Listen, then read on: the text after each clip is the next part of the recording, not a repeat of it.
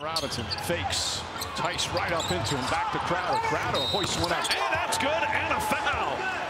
Crowder fired an off-balance contested three-pointer and now has a chance for a four-point play.